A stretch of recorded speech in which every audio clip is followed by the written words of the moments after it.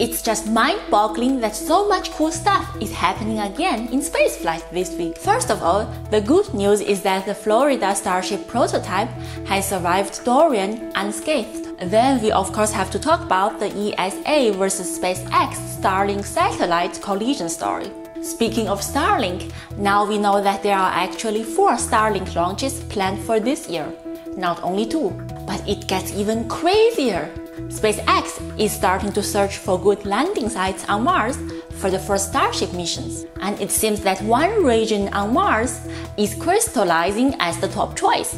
But that is not enough because amazing stuff is also happening at our nearest neighbor, the Moon. First, of course, the huge news that our Indian friends successfully touched down with their Chandrayaan 2 lander is what I would have liked to say and what maybe happened in a parallel quantum reality, but unfortunately in this universe, all contact to the lander was lost. And then a San Francisco based non-profit organization called the Open Lunar Foundation has come forth with plans for colonizing the moon in a few years for, wait for it, only 2 to 3 billion US dollars. That is dozens of times cheaper than NASA's Artemis plan.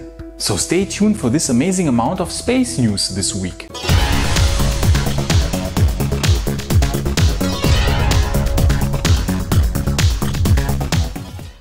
Okay, so let's first start with the most relieving piece of news, namely that the Mark II Starship prototype in Cocoa, Florida has survived Hurricane Dorian virtually unscathed. But that is not only due to the foresighted installation of wind shelters at the Cocoa site to protect the Starship prototype, no, but unfortunately because Dorian decided to stop over the Bahamas for two days almost and completely wreak havoc there. The death toll and the amount of damage done to the Bahamas is really brutal and therefore we somehow cannot really celebrate that the Starship hasn't received any damage. Jixuan and me were on the Bahamas a few years ago and it makes us really sad to see that the Bahamas received such a brutal amount of damage and we therefore decided to donate to the Hurricane Dorian Relief Fund, link in the description.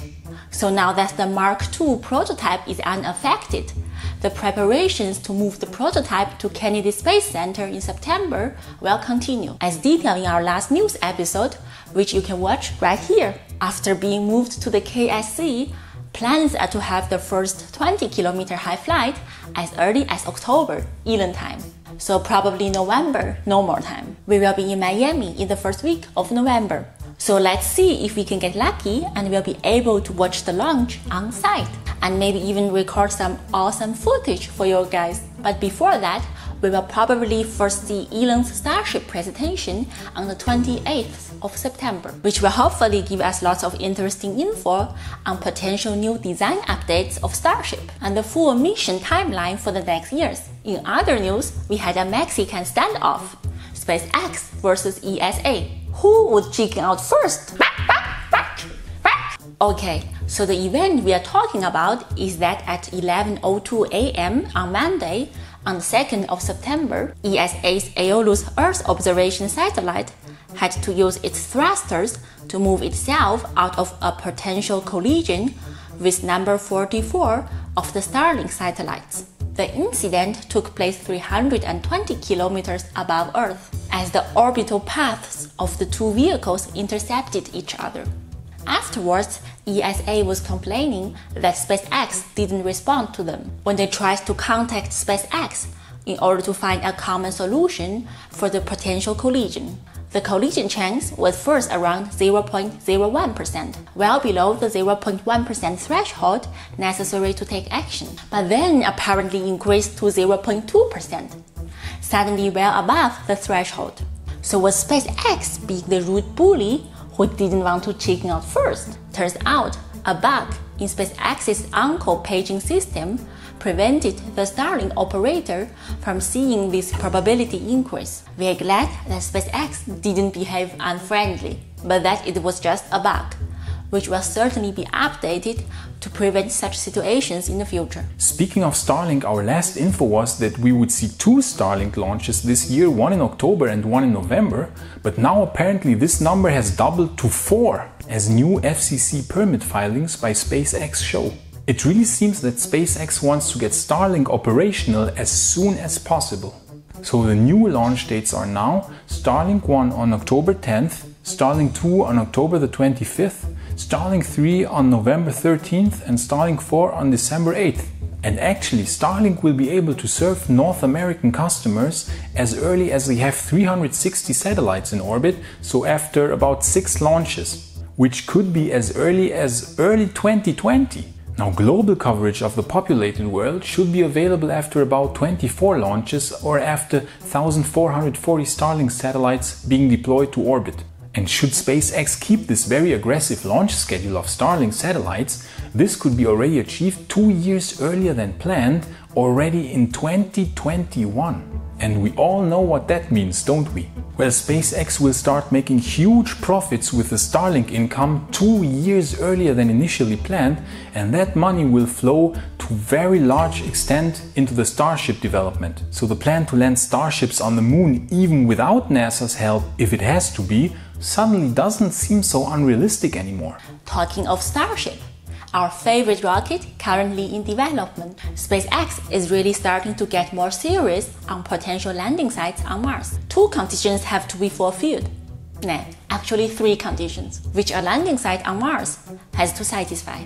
First, it has to be high enough north, because the higher up north, the higher the amount of water ice below the ground. And water is, of course, absolutely essential for human colonization. Second, it should be far enough south to have enough sunlight intensity for the solar arrays needed for powering a Mars base, because radioisotope batteries alone won't provide enough power. And third, the lower it lies relative to the mean surface level of Mars, the better.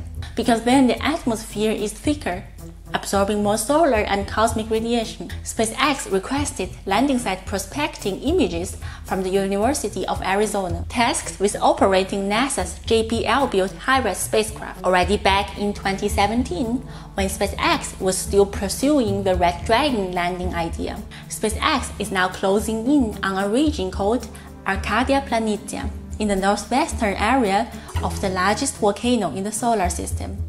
Olympus Mons, which is towering an astounding 26 kilometers above the neighboring plains. Now, Arcadia Planitia fulfills all three of these conditions and is lying actually so low as compared to the mean elevation of Mars that the atmospheric pressure there is actually twice as high as the Martian median value. So while the mean atmospheric pressure on Mars is only 0.6 kilopascal, which is only 0.6% of the mean atmospheric pressure at sea level on Earth, in Arcadia Planitia on the other hand it reaches 1.2 kilopascal of atmospheric pressure, which is 1.2% of the atmospheric pressure of Earth at sea level. Now this is really important in order to reduce radiation caused first by solar storms, but even more importantly by high energetic cosmic particles, which then create a secondary cascade of many high energy particles, a huge shower of high energy particles, if you will, that pours down to the surface and causes quite immense radiation. So of course, the thicker the atmosphere, the more this secondary shower of particles is absorbed, and the less the radiation on the surface. One of the main great challenges in order to colonize Mars is reducing the radiation as far as possible.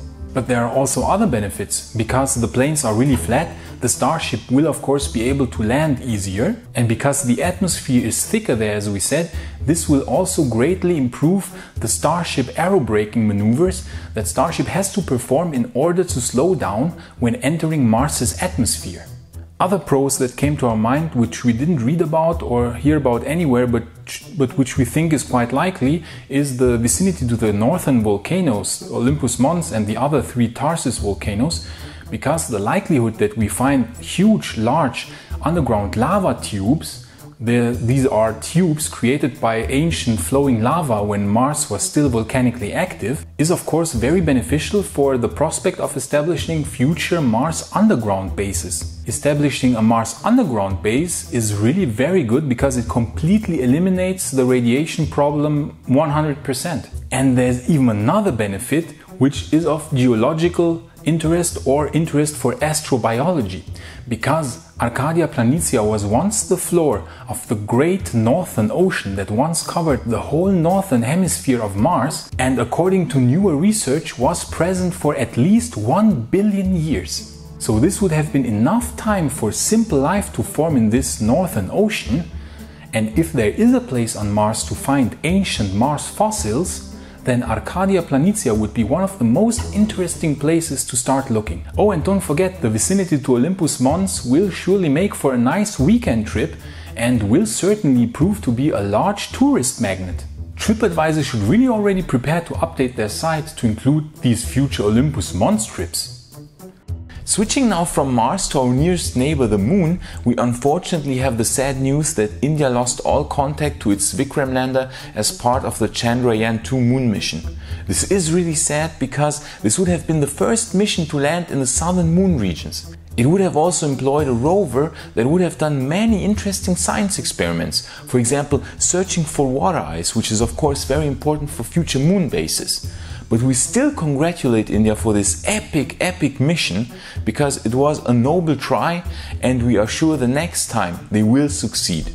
Well, on topic of the moon, the San Francisco-based nonprofit organization Open Lunar Foundation recently came forth with some interesting numbers. This group consists of former Silicon Valley tech people as well as former NASA employees and even an astronaut, Chris Hadfield. The goal of this nonprofit is to accelerate the exploration and settlement of the moon. They recently showed that building the first lunar base can be done for as little as 2 to 3 billion US dollars. Now that might sound like a lot, but keep in mind that the James Webb Space Telescope alone already costs 10 billion US dollars. Or even better, the SLS Orion program has already cost tens of billions of US dollars. And Jim Bridenstine said not too long ago that NASA would need an additional 20 to 30 billion dollars to make a moon landing happen by 2024. And this is only a moon landing, not building a base. So 2 to 3 billion dollars for a base is actually pretty cheap. Now how can it be done? Well, it would be an updated version of Dr. Robert Zubrin's Moon Direct plan. You know, he was the guy that actually proposed the Mars Direct plan and wrote the book The Case for Mars back in the 90s. And actually, he was a very strong influence for Elon Musk's Mars plans, by the way. So he has been a Mars pioneer since decades now. But he also has a very nice moon plan, and we have to say his moon plan is ingenious, as it would only have to use rocket hardware that exists today, namely the Falcon 9 and Falcon Heavy. So in phase 1, Two Falcon Heavy boosters would be used to deliver the materials for the base and other cargo to the moon, most importantly a propellant production facility. And we shouldn't forget that the Falcon Heavy has a 20 ton payload capacity to the moon. In phase 2, one Falcon Heavy and one Falcon 9 would be used to deliver the crew to the moon in a fueled lunar excursion vehicle. In phase 3, only one Falcon 9 would be used to deliver a new crew to orbit in a Dragon 2 exchange crews and then refuel the LEV. The new crew then would fly to the moon in the LEV, which would refuel again at the lunar base with the propellant produced on site already beforehand, while the Dragon 2 would return to Earth with the previous crew. Amazing, simple and brilliant and doable with today's rockets. Then of course with more and more such trips the base would be gradually expanded until at some point of course we would then switch altogether to Starship because Starship of course has a much higher payload to the moon than Falcon Heavy 100 tons compared to 20 tons. So this would be really low cost and possible today so we could actually have a moon base already in two years. A brilliant plan by Dr. Robert Zubrin and we really hope to see it happen as soon as possible. But even if this plan wouldn't come to fruition, at the latest in the mid 2020s we will have a moon base because Starship will land on the moon by the latest in 2024 and with huge payloads to the moon and the funds from Starlink we are absolutely certain that Starship will enable us to build a moon base by the mid 2020s at the latest. So what do you think about Arcadia Planitia as the future landing site? We think it's a really awesome choice so a weekend trip to Olympus Mons might actually become a thing in 10 years, right? Absolutely. Secret tip for anybody who wants to open the first travel agency on Mars. And are you as excited as we are about all this new moon activity? Um, I certainly am because I think this will culminate in a moon base in the not too distant future. And if you like our video, we would be very happy if you would share it with your friends. So see you next week. See you!